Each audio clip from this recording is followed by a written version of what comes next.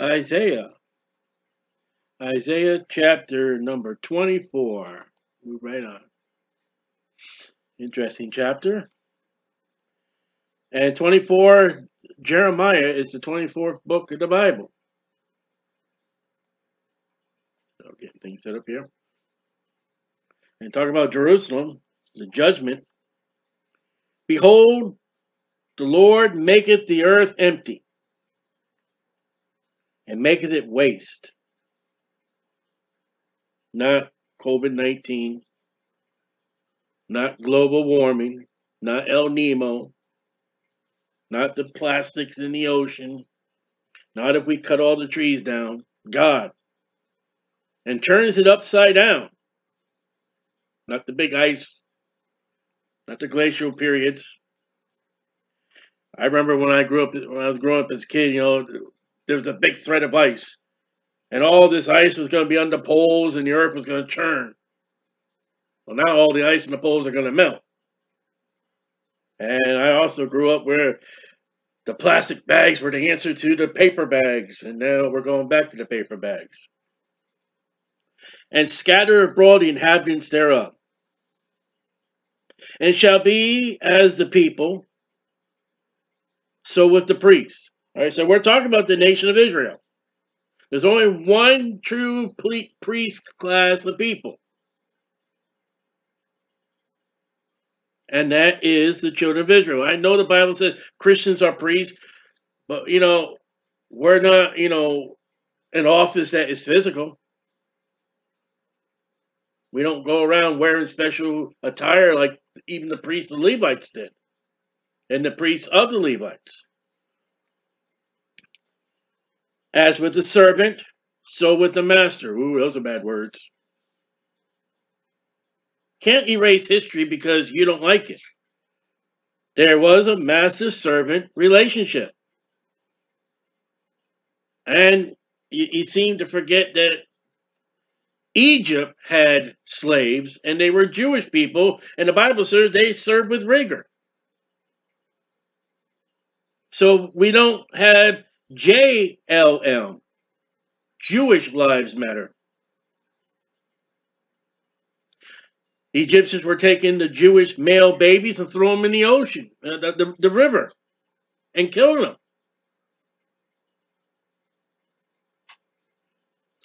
More Jewish babies died than the BLM movement of cops. Let's get with history. Let's look at the facts, shall we? Servant and master. As bad as slavery is, it's there. As with the maid, so with the mistress. As with the buyer, so with the seller. There's two classes of people. And we're going, we have a middle class today. When the Antichrist comes, there will be no middle class under the Antichrist. There'll be those that have the mark and those that don't have the mark.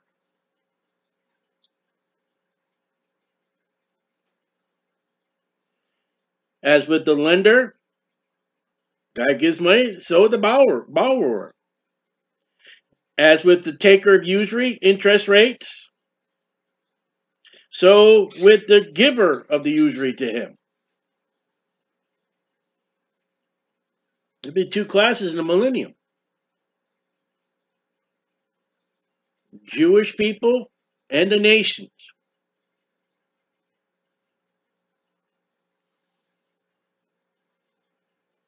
The land, land of Israel, Palestine, shall be utterly emptied, utterly spoiled. For the Lord has spoken this word.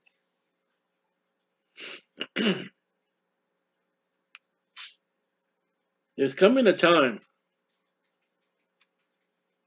after the millennium, after the devil's cast in lake of fire, before the great white throne judgment, the earth and the heavens are going to melt with a fervent heat. Everything that is on this earth is going to go up in heat, in flames, in fire. All, and let me say natural resources, all trees, water, and ores. O R E. And from the ores, you get gold, silver, plastics, everything. And from ore, you can have cash, cars, houses, all of it. And all the land of the earth between after the millennium and the great white throne judgment, everything on this earth will be gone, vaporized, burnt up forever. Have you got stock in a idol or image? It's going to burn up. Have you got stock in a career? Going to be gone. Money gone. A gods Small G-O-D-S. Be in the lake of fire that burns forever. The land shall be utterly emptied, utterly spoiled, for the Lord has spoken this word, and God has spoken it. It's going to happen. The earth mourneth, and fadeth away. The earth, the planet, Mother Earth, going to burn. See, the devil teaches man it came in with a big bang. No, the big bang ends the earth. It didn't come. The earth came by God and is going out with a fervent heat. The big bang is later. The world. Now, the earth is the planet, that what we walk and swim in. You know, we either walk or swim on the earth. There's nothing else. The world, that's the people. For God so loved the world. It's not that God loved the earth. The people, for God so loved the world that he gave. The world languishes. The people languish. That's the first time that word shows up. And fadeth away. All human beings will be gone one day. At the rapture, the saved people go. The Christians, the children of God. At the second advent, the wicked nations will be cast off into hell. At the end of the millennium, every person is going to be gathered. Every dead body will rise. The Christians' bodies have already risen. The haughty people, the prideful people of the earth do language. It's all gone. Where's my where's my gold? Where's my gods? Where's my U-Haul? Where's my money? Where's my wallets? Where's my furs? Where's the whales? Where's the manatees? Where's my office? Where's my gone? You know, everything that is done for Jesus Christ, that's what's going to last. And people say, well, there's you can't take it with you. There's certain things you can take to heaven. Now don't go so far. Oh, you, you can't take nothing with you. You can take things with you to heaven. Gold, silver, precious stones, and lost souls for Jesus Christ. Again, you got one of those nice little sayings. It sounds so cute and pretty that you could put on a thing and sell stupid people.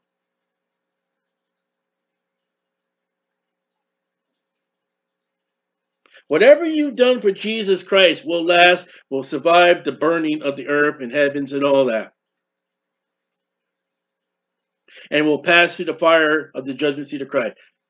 Everything else for the Christian that's not done for Jesus Christ is going to go through the fire. It's going to burn up as wood, hay, and stubble.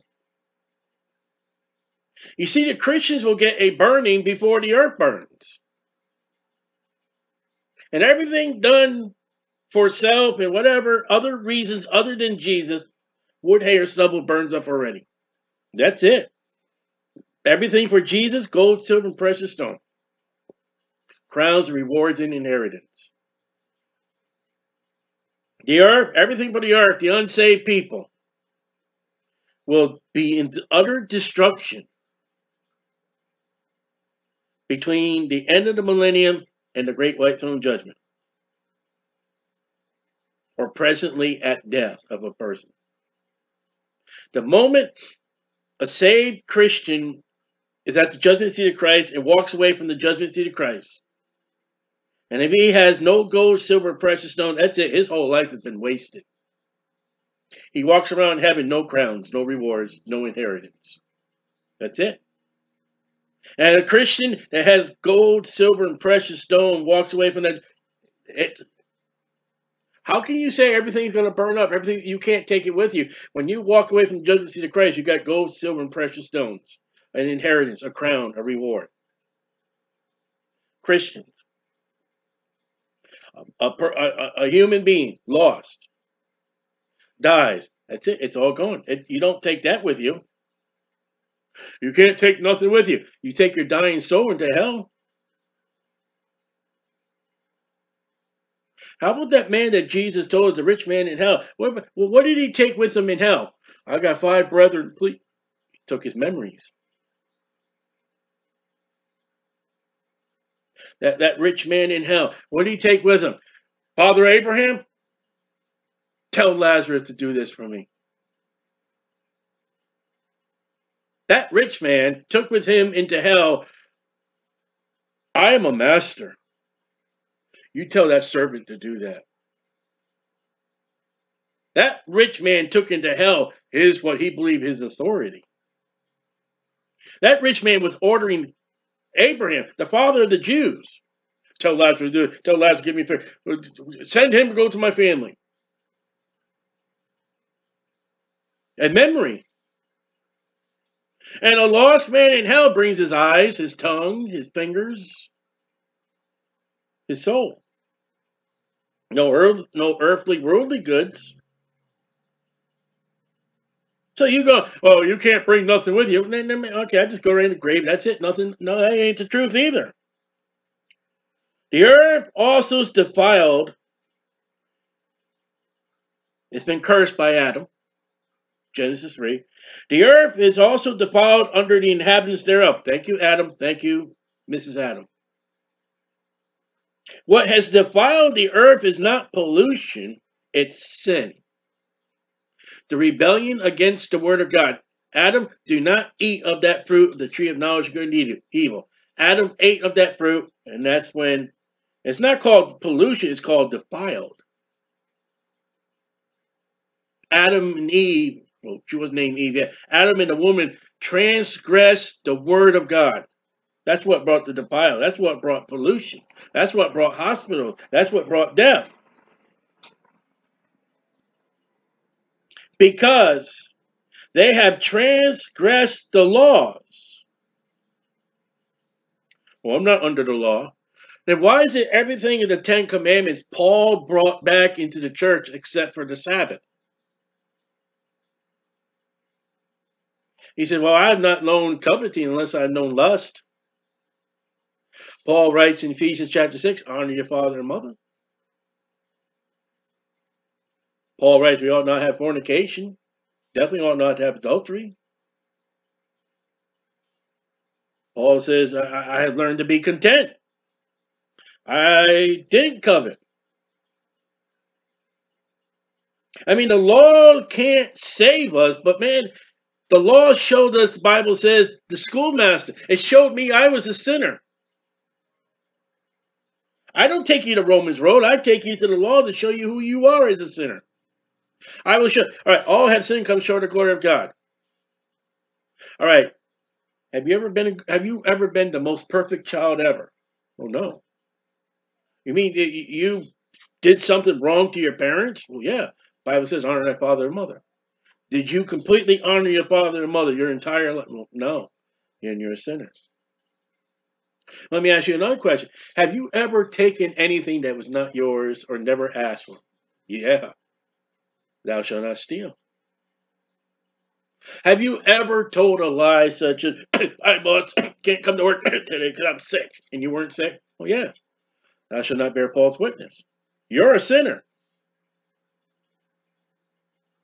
I've only had one person my entire life every time, oh, I'm not, after all, I'm not a sinner. And you're a fool.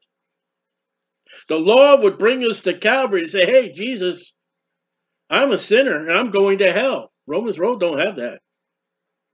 Find me Romans, find me in the Romans Road where hell. Find me in the Romans Road the gospel. That Jesus Christ suffered and died according to Scripture, was buried, rose again the third day according. That's the gospel. I know Romans Road shows that Jesus Christ arose from the grave, or died, I forget which one, but Romans Road only has one third of the gospel. Jesus had preached the gospel. Naughty, naughty, naughty duty that you gave a third of the gospel, not the complete gospel. And the complete, not having the complete gospel, a third of the, it's not the gospel. I mean, if you got a recipe and all the ingredients you laid out on the table and say, you know what? I'm not going to put that in the recipe. It's not going to come out to what you thought it would be. Try, well, I'm going to make mashed potatoes for dinner. And try, just leave out the potatoes and see how well you do.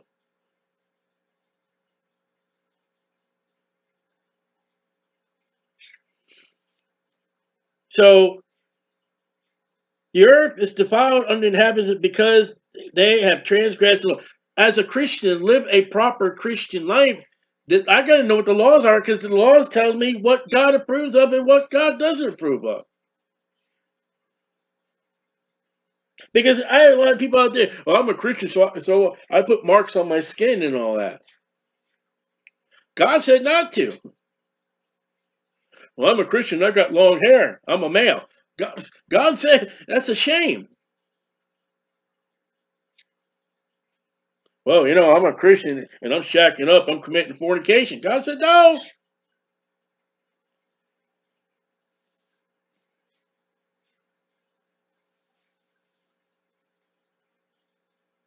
And changes the ordinance. We change the ordinance of God. We had made sodomy, we had changed it from an abomination to, all right, it's allowed, it's approved, you can get married. Romans chapter 1. And broken the everlasting covenant of nature. That's why the world's all a mess. Therefore, has the curse devoured the earth? Look at Malachi chapter 4, verse 6.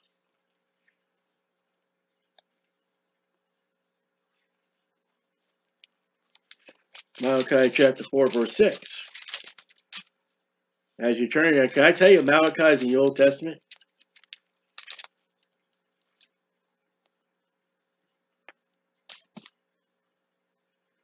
Robbers of God. Old Testament.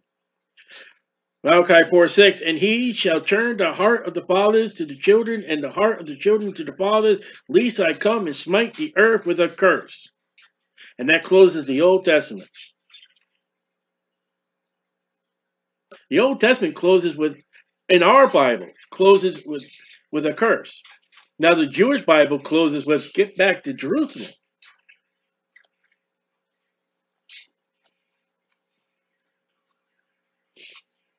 And Jesus Christ came and lived the fullness of the perfect law that he lived, sinless, and died on the tree that became a curse for us.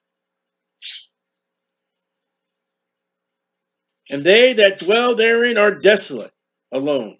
Therefore the inhabitants of the earth are burned. And in the in the tribulation period, there's a time of burning. And there are people who have lived on this planet Earth. Itchy, sorry. They're burning in hell. And a few men left. And that shortage of men runs through the Bible a period of time in the tribulation period. There's a shortage of men.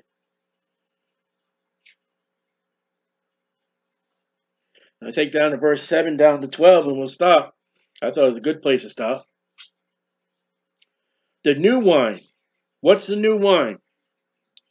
You go out to the vineyard, you pick the grapes. You squeeze the grapes. New wine. When we had our church in Norwich, Connecticut, we tried to start start and we had the nights where we had the Lord's Supper. My wife would take would go to we go to the store and get grapes. And we would put the grapes through a juicer. And that was that was our that was our Lord's wine. That was new wine, fresh, right from the grape. The new wine mourneth. It's sad. The vine languishes, almost like what the earth is going to be. All the merry-hearted do sigh. Oh. No joy. When the time of making wine and the harvest for Israel, especially, it's a time of celebration, it's a time of feasting, it's a time of, of, of dancing, it's a time of music. Hallelujah, glory to God. God blessed us. the mirth of tabrets ceases, the music. The noise of them that rejoice ended and the joy the heart, see, the music is stopped.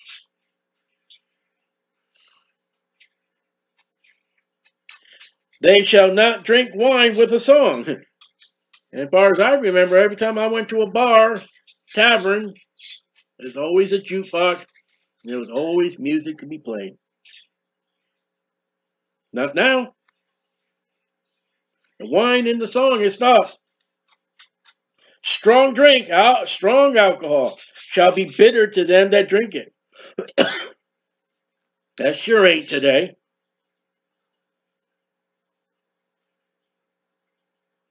The city of confusion. Babel? You do know what Babel means, don't you? I mean, you allow the, the Babel gods, the Babylonian gods into your church. Do you know what Babel means? You know where it came from? And we have to press one for English? You do know your Bible. You do know history, don't you? You do know we are looking to the tribulation period. You, you do know in the tribulation that there is one main city. And you know that the world's already prepared for the holidays of that city.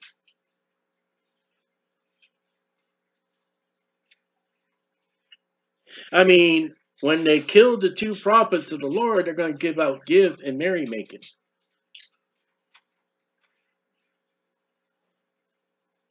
But in the tribulation period, there's going to be water shortage, blood instead of water. There's going to be extreme heat. There's going to be animals crazy. The city of confusion is broken down. Every house is shut up. COVID 19. COVID 19 is preparing you for the tribulation period. Better get right with God.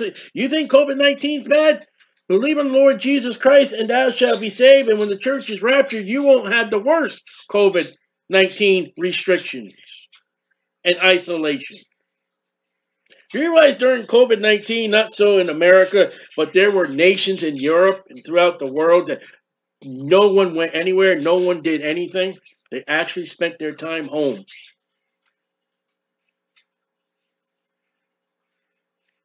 COVID 19 and what has been happening with COVID 19 is a prelude to what's going to happen in the tribulation period. And one day, instead of getting a shot for for for uh, the flu, you'll be getting a shot for the mark. Now, a lot of Christians got that mixed up right now. And no man may come in Why can't they come in? Because the houses are shut up because you can't go out. If you go out, they're going to see you. You're going to get arrested.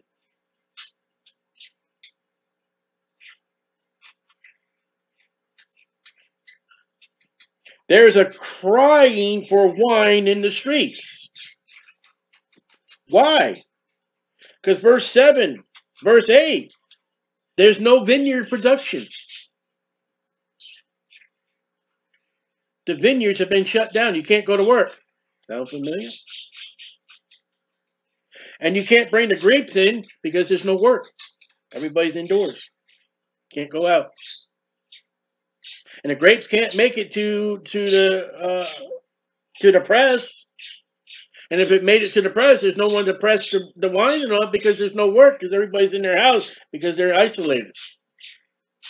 And when there's no press, you can't make the wine, you can't make the new wine, you can't have the drinks because, man, COVID 19's opened up great values in the Bible. It's a prelude.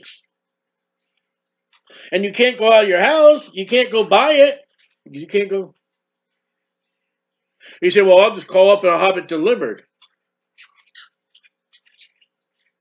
Not if every house is shut.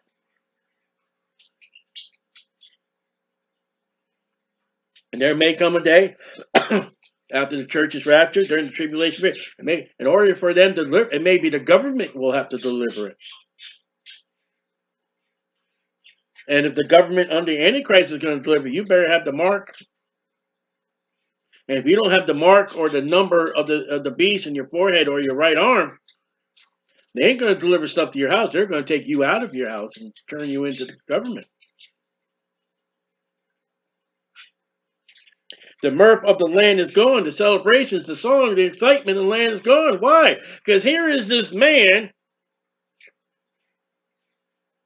the devil incarnate, the man of sin, and his natural enemy is worse than Adolf Hitler. He is out to kill the Jews and anybody who won't worship his image. He's not going to allow celebration. He don't want you to have a good time.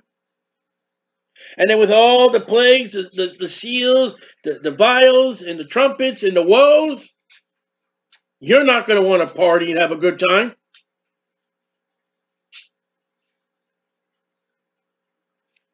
There's one point in time that, that, that, that there's a bite from the tail of an animal that you're going to wish you would have died. I think it's three or six months, I forget what.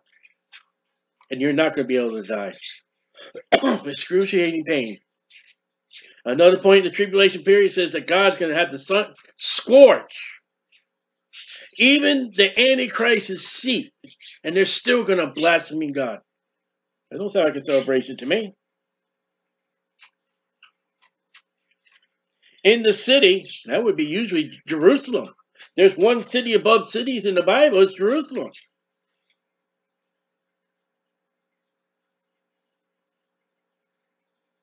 Or a city of confusion, Babel or Babylon.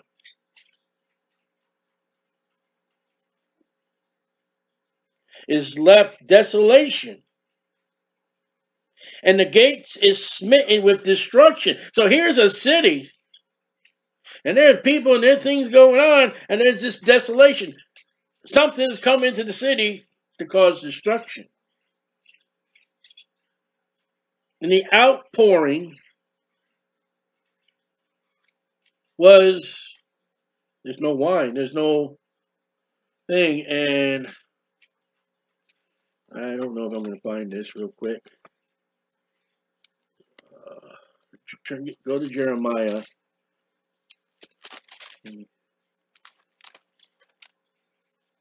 Jeremiah. I'll give it a see if I can find it, but I don't know.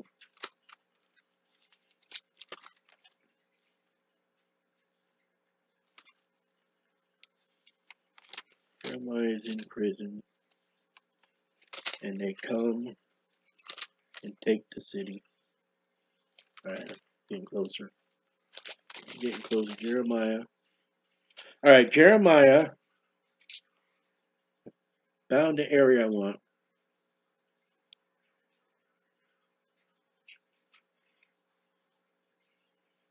Now,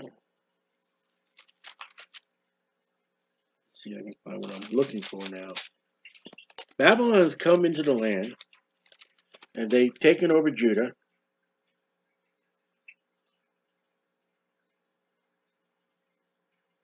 And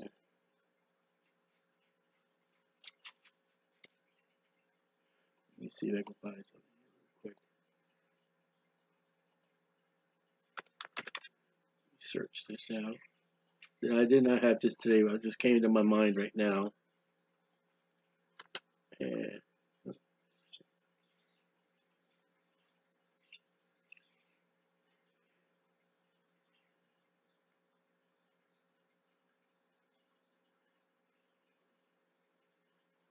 All right, Jeremiah.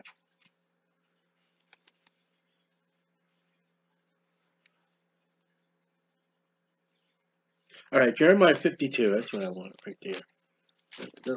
Babylon has come and des- destroyed. Okay. Now, in complete opposition to what we're reading in Isaiah, in Jeremiah 52, the city's been taken, the temple's been destroyed. And we lead up to chapter 52, verse 17. No, 16. But ne- Nebuchadnezzar, captain of the guard, this guy in charge of the military campaign, campaign, left certain of the poor of the land to be vine dressers and for husbandmen. All right, Babylon's come and conquered Judah. And here's the captain of the Babylonian army said, you know, those poor people there, let them take care of the vineyards. Let them grow the gardens, the husbandmen gardens and all that. So at the Babylon captivity in, in Judah, they're still making wine. There's the vineyards. They're still picking grapes. Now they may not be as happy as they were, but there there's the wine. When we come back to Isaiah, there's a period of time There is no harvesting of grapes. Seven, eight, nine. They want wine and all that. Again, in, in the time of Jeremiah and Ezekiel in the captivity, there was no singing and joy. but there were still vine dressers There's coming a time that none. That would be the, that would be the tribulation period with the with the, the trumpets, the seals, the vials, and the woes of God, and the man of sin and what he's doing. And the city of Jerusalem would be vacated because if you're a Jew walking around, you're not safe.